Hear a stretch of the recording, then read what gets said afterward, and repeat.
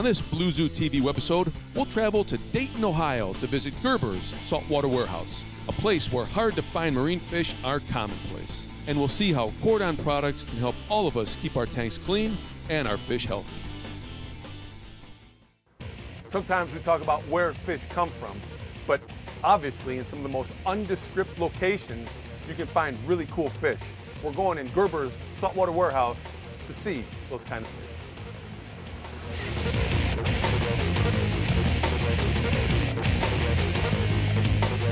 We are here at one of the coolest places on the planet to see marine fish in Dayton, Ohio, with our man, John Gerber, Saltwater Warehouse. John, Hey Frank. how you doing? Good. Hey, give us an idea here. When we first walk through the door, what are those big columns of water and sand that we're walking under? That's the uh, filtration system. That's a protein skimmer and a fluidized sand filter. Now that is able to take care of how many tanks under here? Uh, each system, it, it takes care of a whole row of aquariums. There's about uh, 60 aquariums on one system. On one system, so you have about 240 tanks running on one system. Correct. The cool thing about this place is that you've got marine life from just about all over the planet, don't you? Yes. Give us an idea of some of the different species that you have. Well, we import fish from the Philippines, Indonesia, Singapore. We bring in fish from Hawaii. We bring in fish from the Caribbean and uh, Australia, actually all over the world. Now, one of the things that stands out about this place a little different than others is that you don't have a lot of display tanks that are all decorative and, and foo-foo, but you've got fish in tanks. Was this at one time not a retail place? Yes, at first we were a wholesaler and we wholesaled to fish stores all over the Midwest. But what we did in about four or five years ago is a lot of the uh, retail, the chain stores didn't want to carry the high-end marine fish. So we went ahead and opened up to the public. So, being in Dayton, which is pretty much the center of the universe, I've, I've heard, um, how many people and where are you bringing people from? Well, not only do we sell, our customer base is not just Dayton, Ohio. Our customer base is Richmond, Indiana, Cincinnati, Ohio, people from Columbus, people from all over the state and the surrounding tri-state come to Gerber Saltwater Warehouse. Now, some of the corals and invertebrates behind us, big deal in the hobby. Um, things have changed where they're a lot user friendly now that you can keep them. So I would imagine you sell quite a few corals. Yeah, the, the big thing that's happened over the last few years with technology, with the lighting systems, with all the great foods out there, uh, we can now maintain and grow corals. So the reef aquarium has become the popular saltwater aquarium, not just a saltwater fish tank, but a tank which actually is a coral tank. John, when someone comes in and they have it in their mind that they want a specific fish, maybe it's a little more aggressive, the way you've set up, you can actually point them basically in that direction. There's a little more of an aggressive section over there, and they can go look. Yeah, we have it broken down where we have reef safe area and we have fish that are more aggressive and are not coral friendly. Why don't you give us a little tour? Okay. Nature's microbes have self cleansing power. EcoBioBlock is infused with nature's own microbes in volcanic rock. Creates a perfect ecosystem by clarifying cloudy water and replacing minerals. Setting up aquariums has never been easier. Reduce water changes and vacuumings. EcoBioBlock. Clear water, healthy fish. Give us a call or go online to wondersave.com. You know, John, I'm really looking forward to. Hey, you got stingrays! No way! What are these? These are uh, baby uh, Sea Cortez stingrays. Can I touch them? Yeah. They're little. And the stingray is kind of going near. It's a green brittle starfish. Wow. Go ahead and pick them up. A green brittle starfish. That's huge. How much bigger does he get? That's almost full grown. They'll get a little bit bigger in your aquarium, but not much. Wow. Very nice.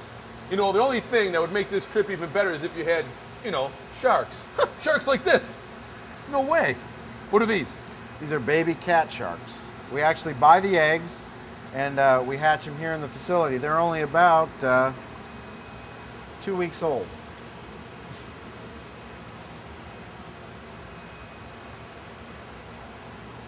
So baby cat sharks. As I make it so it doesn't live past two weeks. It's funny how they just Animals.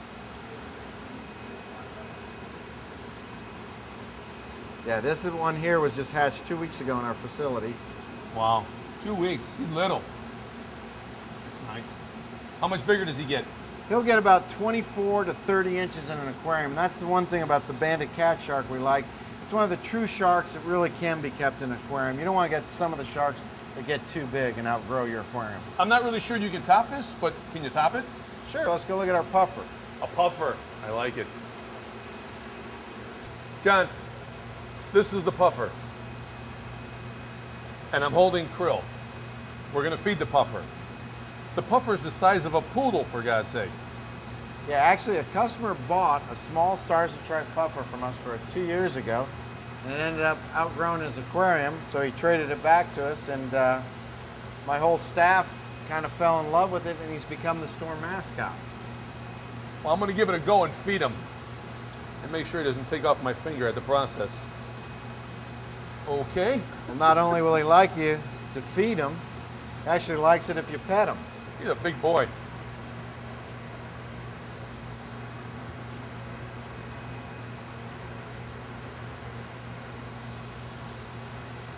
Now, how, how much bigger can he get? How much does he weigh right now?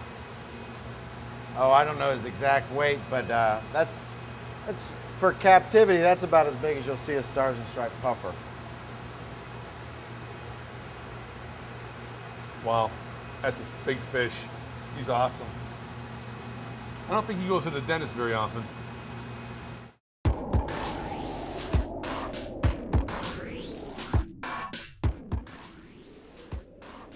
You know, we get a lot of questions that come into the show about how do you set up a tank, how do you maintain a tank, how do you troubleshoot a tank? Well, with 15,000 gallons, what better guy to answer these questions than David Hale? Hey, Dave. Hey, how you doing? What's Hey. happening? Look, Kordon, trusted solutions since 1961. When you set up a tank from scratch, basically, and you're putting in tap water, because not everybody has an RO system, what additives do you add to get rid of the chlorines? Well, I use the Kordon Novaqua Plus water conditioner. It removes chlorine, chlorines out of the tap water, makes it safe for the fish. Okay, you've taken care of the water. What about taking care of the fish themselves?